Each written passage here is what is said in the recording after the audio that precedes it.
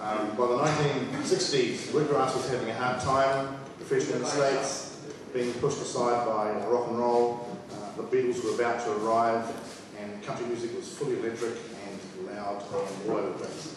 So, to, to keep bluegrass going, uh, they looked for points of difference, and Bill Monroe's band found a really hot banjo player who could play in a new style, a different style to, to Earl Scruggs. And his name was Bill Keith.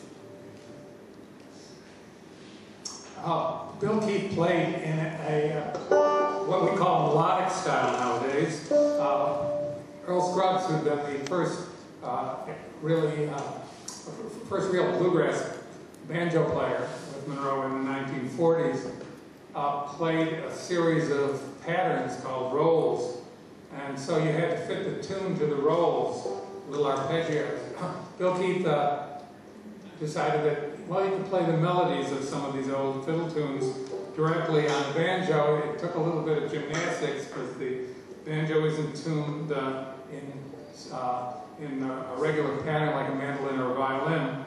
Uh, and one of the tricks was to never play two notes on the same string so that you could use different fingers and get a lot of fluid sound out. We're going to do one of his showpieces, or a couple of his showpieces from back then. These are actually pieces that were uh, popular in, in the, uh, among banjo players in a similar style back in the 1800s.